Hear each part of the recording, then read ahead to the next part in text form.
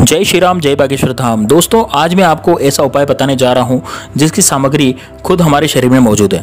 जी हाँ, दोस्तों, हमारे शरीर के इस भाग की वजह से हमारी सभी समस्याओं का अंत हो सकता है। आपको इस उपाय को करने के लिए बाहर से कोई भी सामान या कोई भी वस्तु खरीदने की ज़रूरत नहीं है, कोई आवश्यकता नहीं है। आपका एक भी पैसा इस उपाय को करने में खर्च नहीं होगा और चमत्कार आपकी आँखों के सामने होगा। आपको बिल्कुल चमत्कार देखने को मिलेगा। आपकी सोई भी किस्मत इस चमत्कार से, इस उपाय से जाग सकती है। दोस्तों, मैं आपको बताने जा रहा हूँ कि हमारे शरीर की वह कौन सी चीज़ है जिससे यह चमत्कारिक उपाय किया जा सकता है। दोस्तों, हमारे शरीर की वह चीज़ है हमारे नाखून। जी हाँ दोस्तों, हमारे शरीर में उपस्थित नाखूनों की बात कर रहा हूँ। जब हमारे शरीर के नाखून बढ़ जाते हैं तो हम उन्हें से काट कर फेंक देते हैं। एक कटे हुए नाखून में हमारे घर की समृद्धि धन संपदा और उन्नति तथा तरक्की तथा परेशानियों का अंत छुपा रहता है। जिस प्रकार पाँचों उंगलियाँ एक समान नहीं होती हैं, उसी प्रकार व्यक्ति के लिए समय भी एक समान नहीं रहता है। कभी दुख आता है तो कभी सुख आता है। तो सुख और दुख का पहिया तो घूमता ही रहता है। ये तो हमारे भागवत कथा में और पुराणों में पहले से ही लिखा गया है। लेकिन हमें, हमारे दुख को मिटाने के लिए एक ऐसा सटीक उपाय चाहिए, जिससे हमारे जीवन में सुख ज़्यादा हो और दुख कम हो। दोस्तों, मैं ऐसा तो नहीं कहता कि किसी के जीवन में केवल सुख ही सुख होता है, लेकिन ऐसा तो हो सकता है ना हमारे उपाय द्वारा कि हमारे जीवन में सुख की मात्रा ज़्यादा हो और दुख की मात्रा नगण्य हो, यानी बिल्कुल कम हो। ठीक है? तो आज की वीडियो में मैं आपको ऐसी बात या ऐसी जानकारी दूँगा जो आपके पूरे जीवन को बदल कर रख देगी। या तो आपको पैसों की तंगी हो गई हो, या फिर महीना खत्म होते होते आपको कर्जा लेना पड़ता हो, यानी पैसों की तंगी चल रही हो यानी घर में पैसे नहीं आते हों और आते हैं तो खर्च हो जाते हैं। घर में आपसी झगड़े हो रहे हों पति पत्नी के बीच में नहीं बनती भाई भाई में नहीं बनती लड़ाई झगड़े होते रहते हैं बात बात पर झगड़े हो जाते हैं, यानी कि नकारात्मक शक्ति का प्रभाव आपके पास है। या फिर किसी ने आपका धन बंधवा दिया है। दोस्तों, धन बनवाया जा सकता है। यानी जो कहीं से भी आप कितनी भी मेहनत कर लो, कितनी भी कोशिश कर लो, आपके पास पैसे नहीं पहुँच पाते हैं। तो यह उपाय आपके लिए बहुत काम आने वाला है। यदि आप इस उपाय को महीने में एक बार कर लें, यानी एक महीने में केवल एक बार आप ये उपाय कर लें तो आपको हर बार तरक्की मिलेगी और आपकी तरक्की होकर रहेगी, उसे कोई नहीं रोक पाएगा। दोस्तों, आप यदि भगवान राम के सच्चे सेवक हैं तो आप कमेंट में जय श्री राम लिखना ना भूलें। और यदि आप जय श्री राम नहीं लिख सकते हैं तो आप कुछ ना कुछ जैसे आपके जो इष्ट देव हैं, उनका नाम ज़रूर कमेंट बॉक्स में लिखिए। ऐसा करने से आपके शरीर में, आपके मन मस्तिष्क पे, मानस पटल पर जय श्री राम, यानी श्री राम का नाम अंकित होगा। इससे क्या होगा कि आपको सकारात्मकता मिलेगी, यानी आपके जितने भी बिगड़े हुए काम हैं, वो बनते चले जाएँगे, क्योंकि राम से बड़ा होता है राम का नाम। प्रभु श्री राम का नाम इतना बड़ा है कि वह स्वयं श्री राम से बड़ा है। यदि आपने उनका नाम लिया है तो फिर आपकी हमेशा फतेह रहेगी। आप बिल्कुल तरक्की की राह को चुनेंगे। तो अपनी समस्याओं से छुटकारा पाने के लिए आप अपने नाखूनों का प्रयोग कर सकते हैं। यदि आप शनि देव से परेशान हैं, राहु केतु आपको परेशान कर रहे हैं, नौ नौ ग्रहों से परेशान हैं तो आपको क्या करना है? आपको अपने दोनों हाथों और दोनों पैरों के नाखून काट लेने हैं। तो ये कुल कितने नाखून हो गए? ये हो गए आपके बीस नाखून। दस तो आपके पैरों के और दस हो गए आपके हाथों के। ऐसा आपको रविवार के दिन करना है दोस्तों। दोस्तों, आपको कभी भी मंगलवार, शनिवार और गुरुवार को नाखून नहीं काटने चाहिए। ऐसा करने से आपको घोर पाप लगता है और आपके पास घोर दरिद्रता और नकारात्मकता आती है।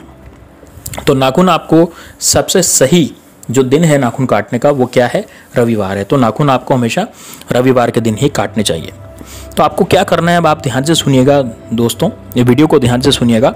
रविवार के दिन आपको अपने घर से किसी भी सदस्य से नाखून कटवा लेने हैं। आपको ये खुद नहीं काटने हैं, आपको अपने घर की, घर में किसी सदस्य की मदद लेनी होगी और उससे आप अपने नाखून कटवा लीजिए। और फिर उन्हें साफ़ पानी से धो लीजिए। एक बार नाखून आपके पास आ गए कटे हुए, अब आपको उसको साफ़ पानी से धुलना है। फिर आपको उन नाखूनों से 20 बार उतारा करना है। अब उतारा आपको नहीं करना, उतारा भी उसी से करवाना है जिससे आपने नाखून कटवाए हैं। तो 20 बार आप उतारा करवाएँ क्योंकि नाखूनों की संख्या बीस है। ऐसा उतारा करवाने के बाद उन नाखूनों की, उन नाखूनों को आप जलती हुई आग में डाल दें। तो दोस्तों, उतारा आपको अपने घर के दरवाजे के बाहर करना है, ठीक है? आपको जो ये उतारा है, वो अपने घर के दरवाजे के बाहर करना है, घर के घर के अंदर ये नहीं करना है। आप नाखून घर के अंदर काट सकते हैं, लेकिन नाखून इकट्ठे करके आपको उतारा कहाँ करना है? घर के दरवाजे पर। तो आप क्या करें? बाहर गोबर लें और गोबर, सूखा हुआ गोबर होता है, ये उपला होता है, उसको जला लें, उसमें आग जला लें। आग जलाने पर आपको क्या करना है? बीस बार उससे उसरवा लें और उसी इसके आपको क्या करना है? उन नाखूनों को जलती हुई आग में फेंक देना है, डाल देना है। उससे क्या होगा? उससे आपके अंदर उपस्थित समस्त नकारात्मक शक्तियाँ, दुख, परेशानियाँ जलकर भस्म हो जाएँगी। बार बार आप बीमार हो जाते हैं। कभी सिर दर्द होता है, कभी बदन दर्द होता है, कभी नज़र लग जाती है, कभी छोटी छोटी बीमारियाँ हो जाती है नकारात्मक शक्तियों के कारण होती है। तो महीने में एक बार आप इस काम को ज़रूर करिए, इस उपाय को ज़रूर करिए।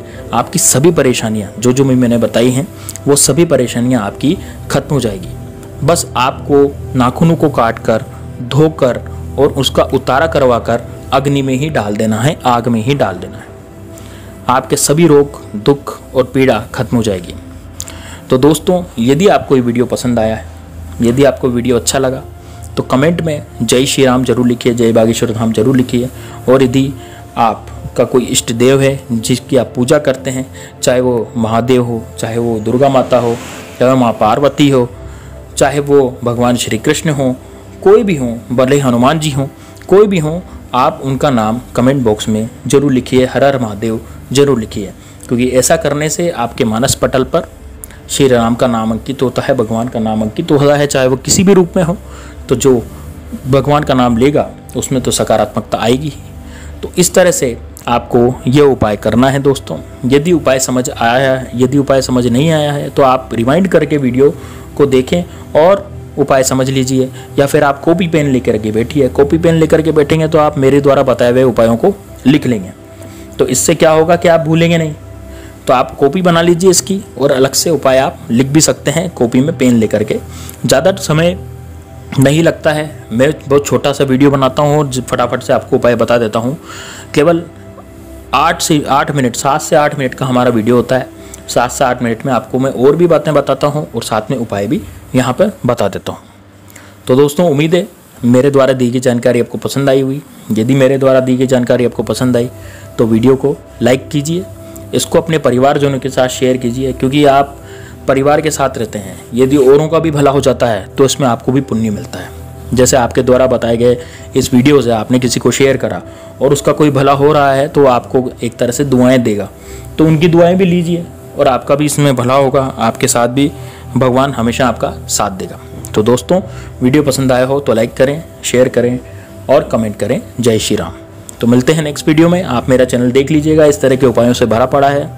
जय श्री राम, जय बागेश्वर धाम। मिलते हैं अगले वीडियो